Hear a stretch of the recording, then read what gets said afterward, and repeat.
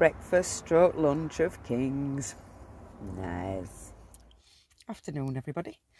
I've just had the biggest breakfast stroke lunch because it is dinner time now in the world. Pogged, probably will eat later today now. Um, just wanted a bit of an update. I've been down to see the foal. I went last night as well, but it was getting dark, so I didn't film anything. Just went down, gave it some carrots, checked it were okay, and came back. Um, I spent a few minutes with it today before filming, and uh, it seems it seems a lot better. As in, not as fearful. Its eyes are calmer, but there weren't as many fireworks went off last night. I think I said this in the vlog bit that I did earlier. Um, but sounds like it's got colic. So I've just googled how to treat colic in horses naturally. And it seems giving on giving it no herbs is not going to help it. It needs fresh hair, it needs fresh water. They suggest offering salt blocks to make it drink more. Well, it doesn't have any bloody water oh, or hair. So don't leave water out for them. They come and give them water and uh, grain or whatever they give them twice a day, and that's it. Some of them only come once a day. So now I'm like, I don't know. Should I persist on ringing RSPCA? Because I've rang three times now. Just don't get any answer. So I might be ringing wrong number. I need to double check that actually. Or I might just take a ride up to East Ardsley and go speak to them down at the centre. Um, well, it's not the main switchboard like, but it might be advice. Um, I don't know, it might have also just choked on a bit of Brussel sprout that I gave it, but it didn't sound like a choke, it, it sounded like a chesty, colicky cough. Anyway, you'll see the video and uh, see what you think. So I'm heading back to base today because the van's going into the garage at 10 o'clock in the morning for my new, new handle putting on. So fingers crossed it stays on this time. oh, I'm expecting the bloody road tax bill to come any minute. Which I'm not happy about.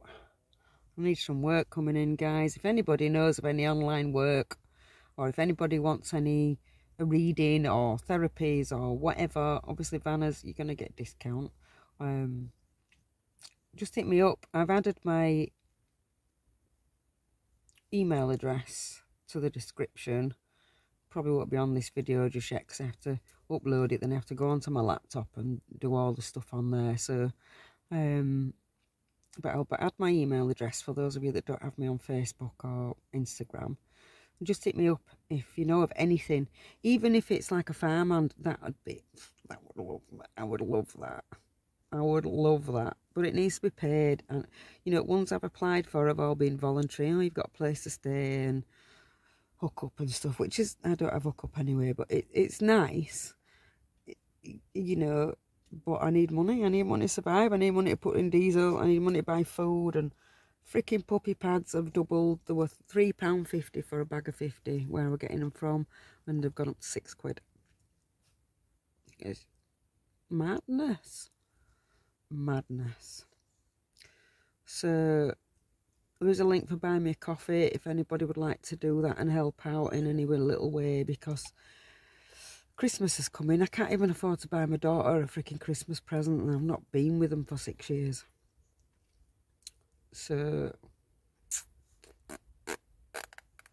and I can't make, usually I buy, I make, not from Tasha, but for friends and stuff, I make homemade jams and marmalades and all sorts of stuff. And living in the van, I can't do it. I've nowhere, one, I've nowhere to store the jars until Christmas. And two, I've not got a freezer to store the fruit. you know, when I had the house, I used to gather blackberries and elberries and stuff and, and freeze it and until uh, it was time to make jams. Um, and plus, like marmalade, takes hours to make. So, and it's so messy. it's fun, but it's messy. Um, and obviously, I've only got a six kilogram gas bottle, So you've got put, got to put stuff on to simmer for two hours and and boil jars and stuff. It's, you know, it's it's too much in van really. I need an income first, and then I can do that sort of stuff because then I don't have to worry about the gas running out and buying more gas at 26 quid a bottle. Well, that's what this last one was. Hopefully that's not gone up again. Because it's a six kilogram bottle, it's ridiculous. Cyprus, you get a 15 kilogram bottle for 15 quid. well, 15 euros, which is even less. So that's like, what, 13, 14 quid? Anyway, um, yeah, if you hadn't have had all the repairs initially on the van when I first got it and to get through MOT, I would have had that money left over now to live on until I get sorted. But my diesel is still not fixed. I sent the part and it didn't come with the socket, whatever it's called, sockety thing, and the gauze to fit it. So I've emailed them. I'm going to keep this one anyway as a spare, and then I'll have to order a full kit. I did email them saying I'm going to send it back, but um, I think I'm going to keep it as per suggestions. So I suppose it's handy to have a spare, and once I get the socket thing, uh, I can always replace replace it then hopefully um, if it goes again. But today's not too cold. It's on a night, it gets really cold, and on a morning, I get my clothes out of the cupboards and the damp. Not fun. The joys of van life. But hopefully, in the next few days, I'm going to make a little video I should make notes while it's all fresh in my head, really. But, of course, I'll just ramble like I do when monkey brain goes off on tangents. but, um, instigated by my friend Tola, and it's about my cat, but it's about the human race. and van lifers. Interesting, maybe not. Maybe I'll forget to write notes, which I'm very likely to do right now because I'm exhausted. But um, I've got things to do. I've got to go get water from somewhere, get back down to base, and uh, get set up and ready for morning. Because it takes me two hours on a morning. I've got to sort Loui and take Storm out for a poo and and then get to garage for 10 o'clock, feed them, and then get to garage. So it's uh, I did manage to get up this morning for sun sunrise you couldn't really see it. so, whatever.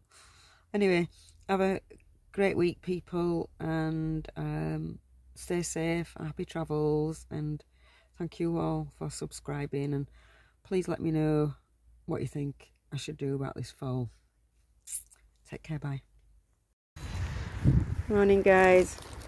I've come back to see my little pony. Came yesterday as well, but um, I've got to leave today. Here you go. He's having uh, sprouts, but that's the only thing I've got left until I go shopping. like some sprouts, don't you? Eh? It's going to be a farty mess later. Oh, you've dropped a couple, haven't you? Mm. Chew that one first. Thought he'd gone actually when I got down here. I couldn't see him in this. Oh, I don't want that one. Okay. Got still finish chewing that one first, ain't you? Eh? Hang on, that's my toes under there. Yeah, he's sniffing my hand. Oh. oh no, it's my jacket. Don't eat my jacket. yeah. There you go. That's the last one. Oh, you've dropped it right in your poo. Oh. Well, that's in your pool. Let me get it. Let me get this pool. Oh, oh now I've dropped it in your pool. There you go. Good baby. There's one behind your feet as well, what you dropped. Hmm?